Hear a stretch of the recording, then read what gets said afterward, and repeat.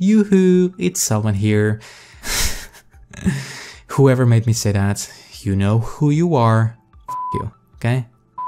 Anyway, what's the Restoration Druid all about? So the Resto Druid has a very different form of healing, mostly healing through HOTS, meaning healing over time, with a variety of different spells that you possess. Rejuvenation is going to be your main heal ability, it's instant cast, simply leaving a hot for 12 seconds or so. Although not so powerful on itself, with your other abilities and applied on multiple targets, it will and should be your most powerful healing ability overall. Life Bloom is a similar ability, it also heals over time, although not as strong. When it finishes, it blooms, healing instantly for a pretty decent amount, but can only be placed on one target at a time. Swift Mend is your most powerful direct healing ability, also instant cast, healing instantly for a pretty good amount on a 30 second cooldown. Regrowth is then your emergency healing on a short cast, also healing instantly but costing a lot of mana, which is something you need to manage as a healer. Also applies a pretty weak hot.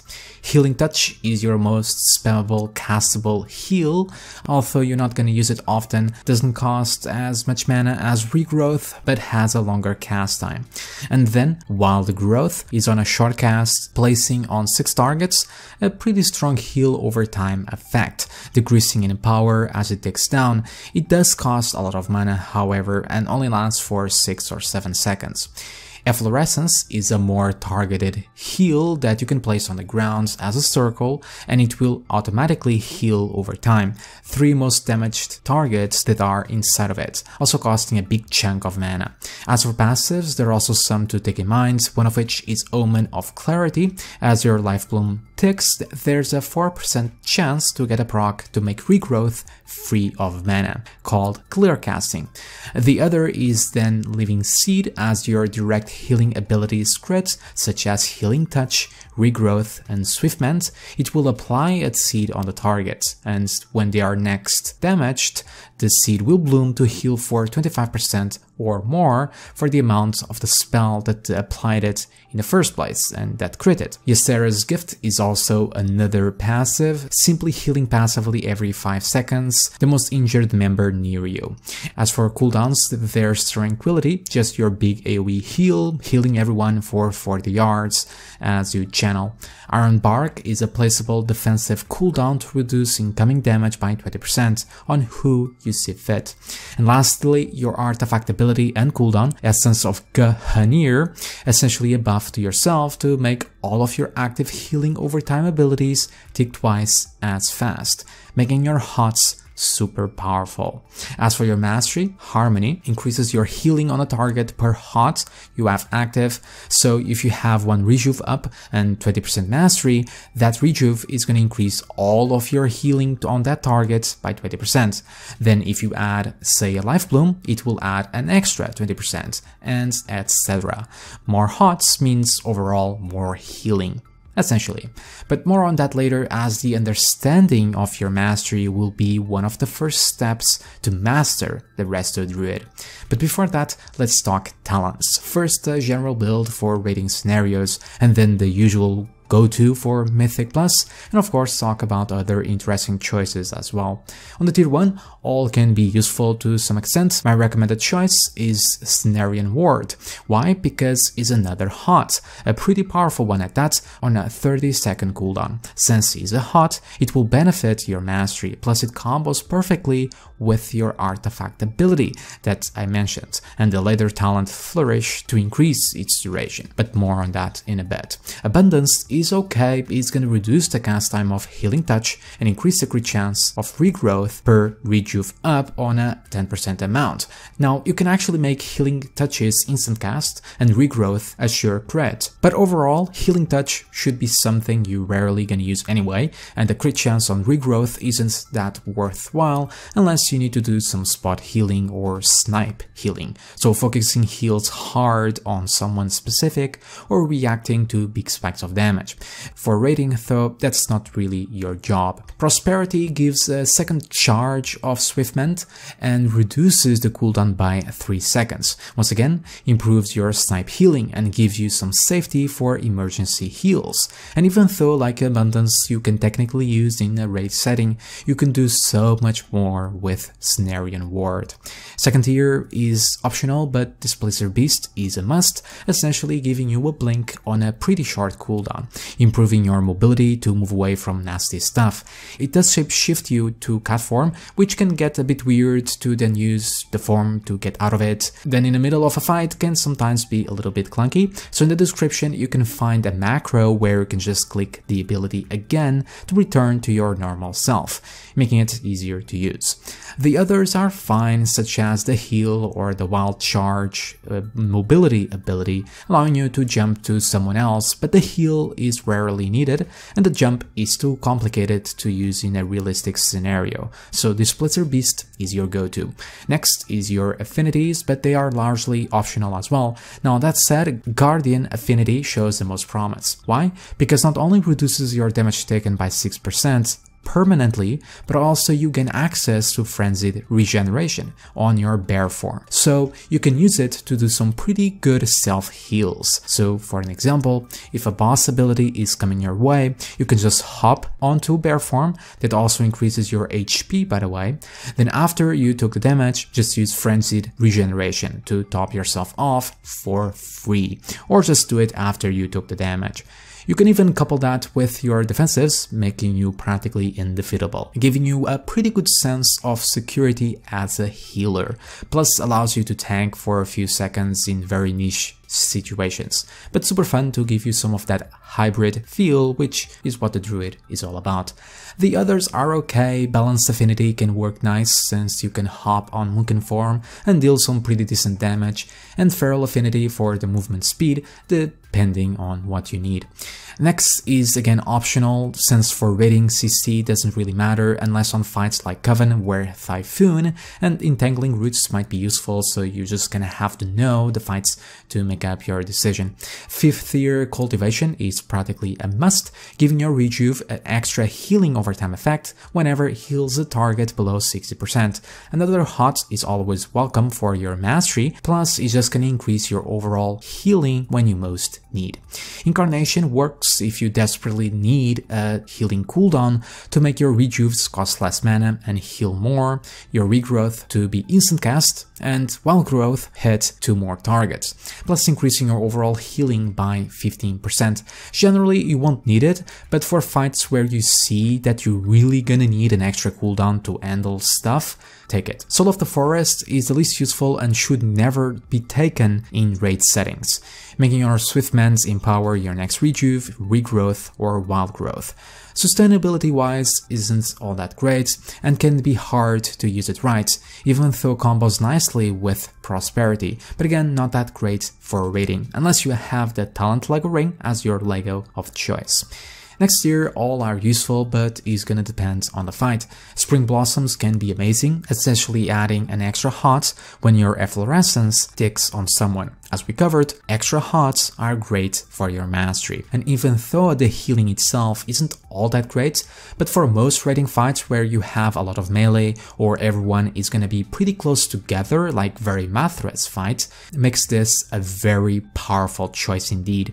Germination is also equally good, allowing you to rejuve a target twice, not only again benefiting your mastery, but increasing your targeted healing, although can be more expensive on mana, but allows you to heal tanks better and just heal everyone else a lot more, but you have an extra hot to track and manage. So it can be more difficult to use in a raid setting, depending on the size of your group, so take it if you feel comfortable using it. Inner Peace is the least useful, decreasing your tranquility cooldown from 3 minutes to 2 minutes. Now there are cases where you can make this rather useful, such as Kin'garoth fight, where that 2 minute timer will align perfectly with the ads, but unless you really need the extra tranquility, go for the other two.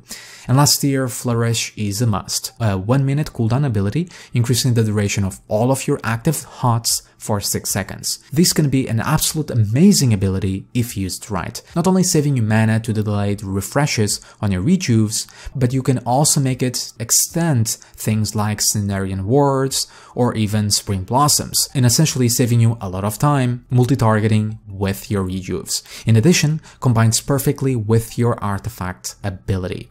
Stone Dark has a very niche use, making Iron Bark more powerful by reducing the cooldown and increasing your heals to that same target, but you're rarely gonna need it unless you need to do some spot healing, but it's not a must.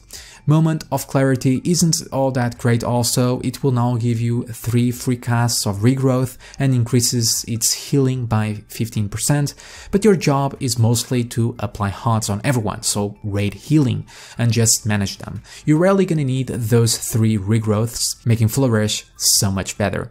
As for Mythic Plus, the idea stays, the first tier Cenarion Ward is still great to place on the tank, but the others can be equally useful if you feel like you need, so choose what you see fit. On the fourth tier, Mighty Bash obviously is great for the stun, giving some utility, or Typhoon for Sanguine Puddles or Interrupt. And here Cultivation is still great, although Soul of the Forest functions much better in a dungeon scenario since you can target those benefits better, but I still recommend Cultivation.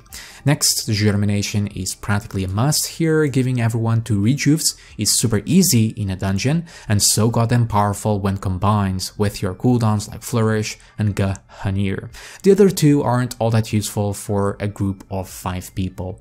Last year, Moments of Clarity can be more useful here, but Flourish is just so goddamn good and fun, so I still recommend it, although Moment of Clarity here can be more viable than before. And that's it. Now let's talk about, I was gonna say rotation, but there's actually no rotations. So let's just talk about every single one of your spells and when you should be using them in a raid and dungeon setting.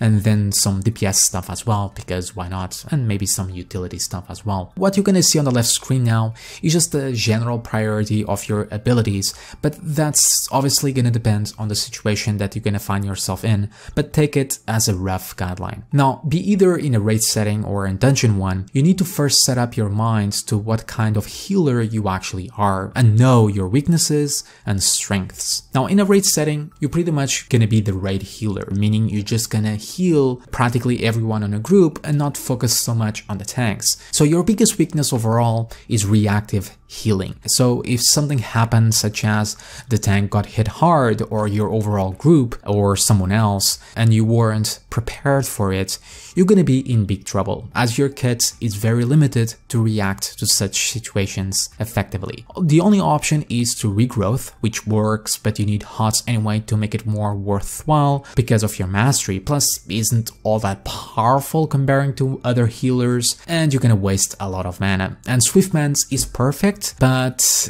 has a cooldown. So since you're really bad at reacting quickly, if unprepared, what does that make you? Well, overall, as a druid, you somewhat need to predict incoming damage in order to heal effectively, because most of your healing comes in healing over time effects, especially with cooldowns like Flourish and Hanir, which are meant to be used with a lot of preparation in mind, but more on that later.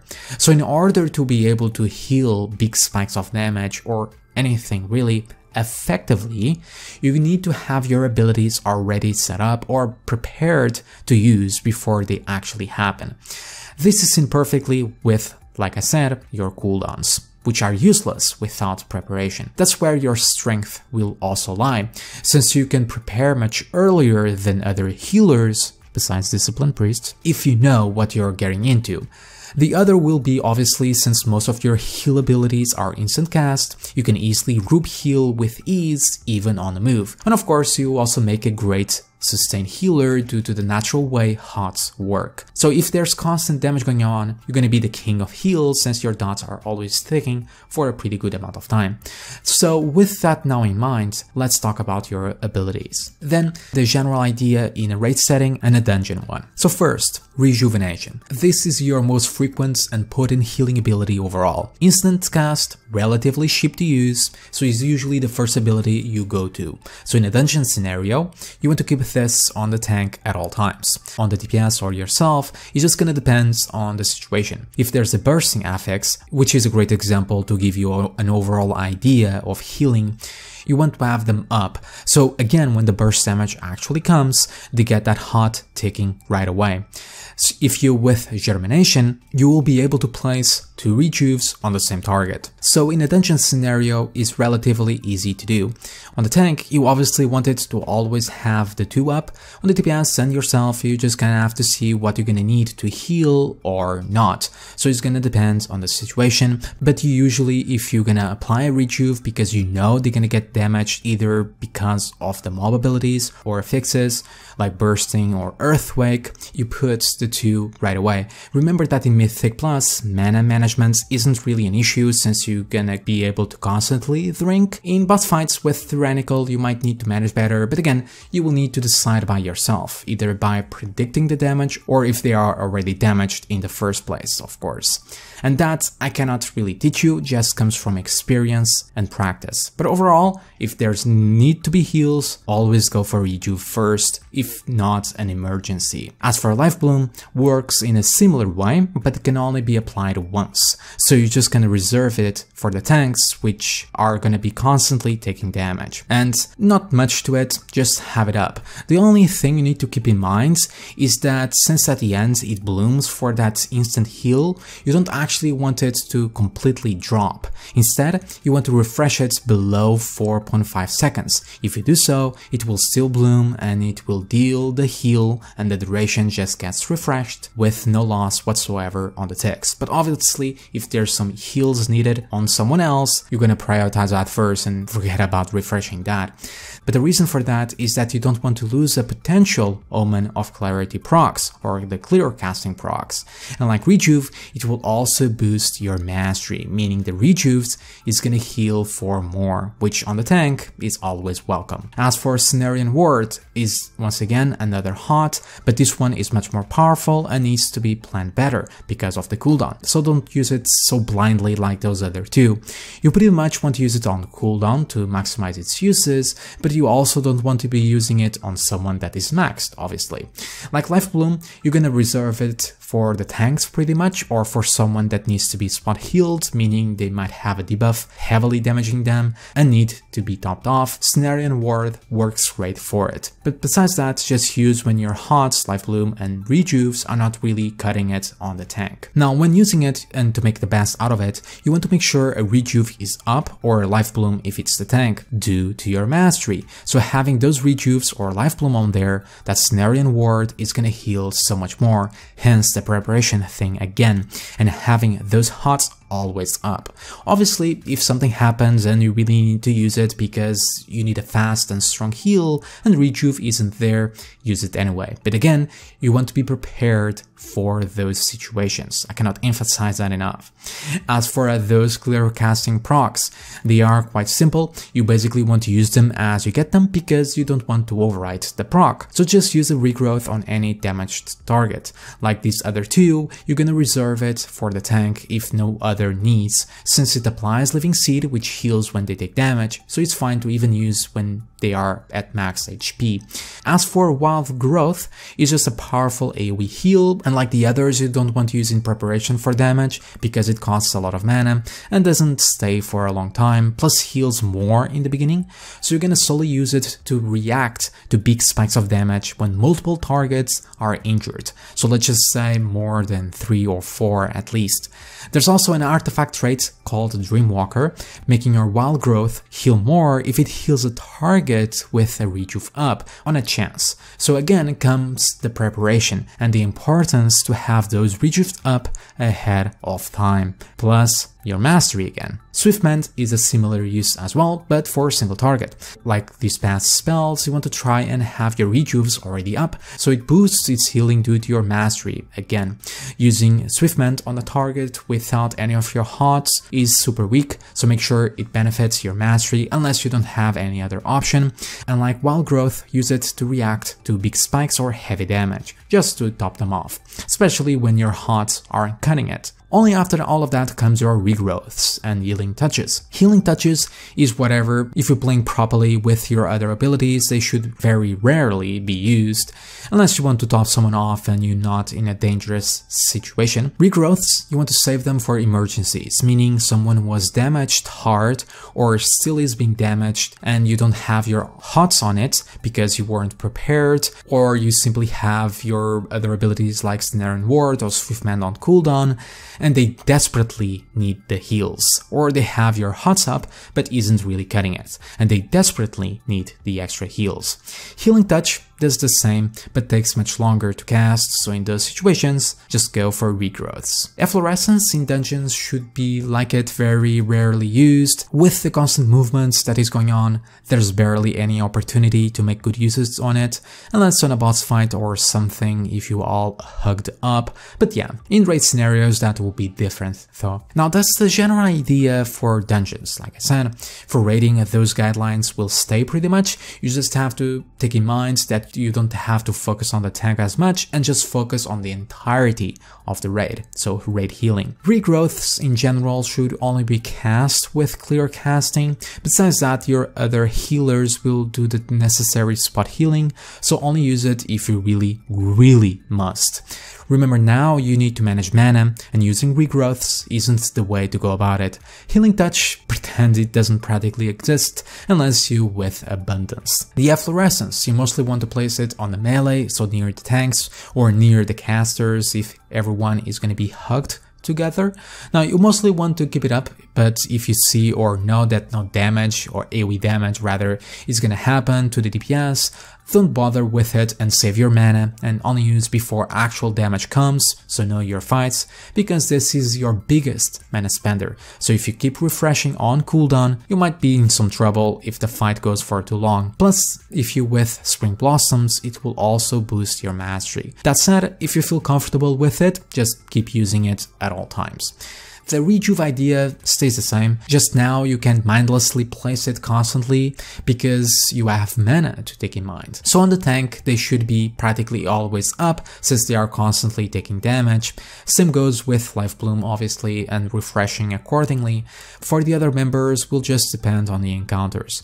If there's short spikes of damage, you're gonna do very badly, you can use a Swiftmend for it and whatnot, but your rejuve won't have enough time to do its thing because of your fellow healers will get to it first. Your hots will only really come in if there's constant damage going on, so only use a rejuve if you know if that person is gonna take some more damage. But pretty much if you see someone going down, you're gonna use a rejuve on them. Your healers will probably top them off, but still that dot will still help on there. But obviously if there's constant damage going on, you want to place it on everyone, along with wild growths when you see fit for something extra in the same vein as before. The other way is just the overall preparation thing again. So a simple example would be Garothi during its intermission phase. You know that after destroying a cannon, there will be big AoE damage for the raid. So a few seconds before that actually happens, you want to be applying all them rejuves on as many people as you can. So when the damage actually comes, bam, it starts healing them all immediately. This is also where your CDs will come in that I'm gonna talk next. But this applies to all encounters where you can actively predict incoming damage, okay? Now Flourish and G'Hanir, be dungeons or raids, the idea with them stays the same. Flourish, you practically want to use them on cooldown, and you have multiple uses for it. One is that you have a lot of rejuves up and there's still constant damage going on, and instead of just refreshing one by one, you just flourish to extend them. That's where this ability will shine the most. But the main idea here is to save you time and mana. Remember that it also extends all the other hots like Cenarion Ward and Wild Growth, so you can set it up with it as well to make them last for a pretty long time. Other time is to use when applying rejuves on everyone in preparation for something coming. But midway through that, the first rejuves will be nearing the end of their duration. So you can use Flourish to fight against time in a way, so you have everyone properly hotted up. As for G'Hanir, has a similar use, and they work great together, but you don't need to use them exclusively together. Best time to use is once again when you have a lot of hots up, especially rejuves, wild growths, and a lot of damage is going on, and that will just make all of your hots heal double as fast, so when they are not cutting it. So back to the Garothi example, you want to use it the minutes the big AoE damage came in, so when those hots that I mentioned before start ticking, and they start ticking fast. The same follows for the bursting affix example in Mythic Plus. Just remember that using a wild growth with either of those cooldowns is practically a must, so they get either extended or they gonna heal for a lot more. Innervate is also great to use in preparation for those two cooldowns, making your next spells free of mana. So you can just go an Efflorescence if needed and just spam as many rejuves as you can. Then Wild Growth as it finishes, then follow with a Flourish to increase all of their durations, and then a G'Hanir to make their ticks faster. But you can obviously just use it to apply multiple rejuves and use a wild growth and an efflorescence since they cost a lot of mana. You always want to use during Innervate's duration to make the most out of it. Coupling with a Bloodlust is also a pretty good idea for the higher haste to lower the global cooldowns so you can use more rejuves during its duration again.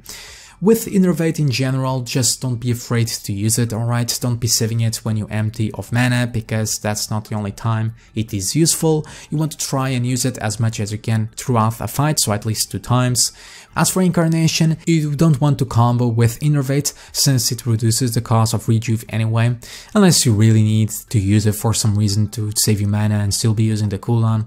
Gameplay wise won't change much, will just make your spells more powerful, so use when in desperate need of more healing and try to combine with G'Hanir and Flourish as well. As for Tranquility is your oh shit button, so for dungeons use it for such when none of your abilities are cutting it and generally don't combo it with your other coolies as it might be an overkill in most situations. You can also use it the minute big damage comes, so all the being prepared thing, if G'Hanir is on cooldown. For raids, they should be called for, but used in the same way to top everyone off. If you have the LEGO Trinket, remember to couple with either G'Hanir or Tranquility for even better results. And lastly, Iron Bark, save it for heavy damage on the tanks or a specific ability going on on any member that is receiving heavy damage to reduce their damage taken and make your heals easier on them. And that covers it all. As for DPS and utility. So dealing DPS is pretty simple. You should be helping out on DPS, be in raids or dungeons, in moments when any sort of healing isn't needed, so remember that. So you can use some Wraths to deal some damage, they're free of mana, so it's fine, just spam them. Moonfire and Sunfire are also pretty good on damage, the, the ticks I mean, but do use mana, especially Sunfire, so careful on that. If you can though, use them, but mostly in a dungeon scenario. If you with the Feral or Balance affinity, go to their respective forms if you have some extra free time to deal some more DPS.